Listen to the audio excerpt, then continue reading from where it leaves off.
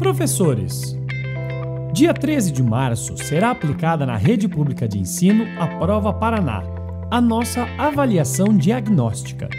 Participarão desta avaliação alunos do 5, 6 e 9 ano do ensino fundamental, da primeira série do ensino médio de todas as modalidades, da terceira série do ensino médio regular, quarta série do ensino médio integrado e formação de docentes e da fase 2 e ensino médio da EJA nas disciplinas de língua portuguesa e matemática. Serão 20 questões de língua portuguesa e 20 de matemática. Para simplificar a correção, a Secretaria da Educação disponibilizará um aplicativo para celular e ele fará tudo. Será como se estivéssemos tirando uma foto, muito fácil e rápido. No entanto, o mais importante de tudo são as ações que, juntos, poderemos desenvolver com os resultados obtidos na prova Paraná. Vamos conhecer algumas?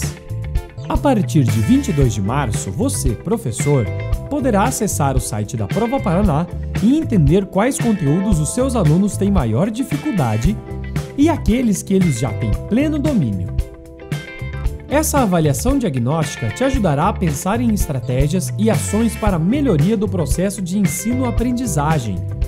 Os resultados também servirão para que as secretarias de educação e os núcleos regionais desenhem e implementem ações como formação presencial, conexão professor e produção de materiais de apoio que melhor atendam às suas necessidades.